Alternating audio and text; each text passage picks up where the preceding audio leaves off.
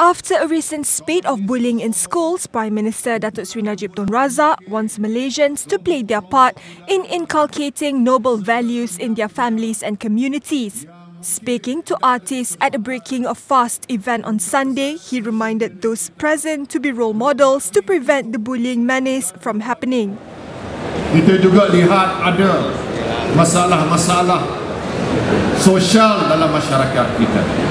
Saya dua ini soal masalah gangsterism dan bullying dalam masyarakat kita umpamanya menjadi perhatian umum masyarakat kita. Saya berharap tuan-tuan dan puan-puan boleh memainkan peranan masing-masing untuk menanamkan nilai-nilai kemanusiaan yang lebih mulia di kalangan masyarakat kita.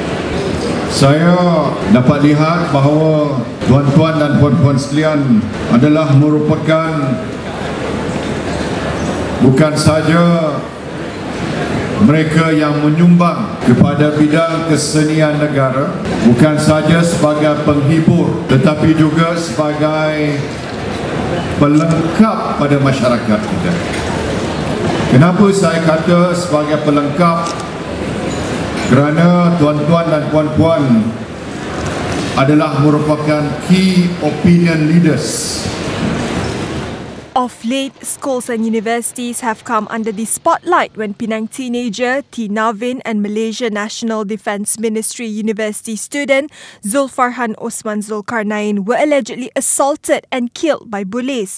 Many civil groups have called for harsher laws and for more education on bullying to be introduced by the government to curb such cases.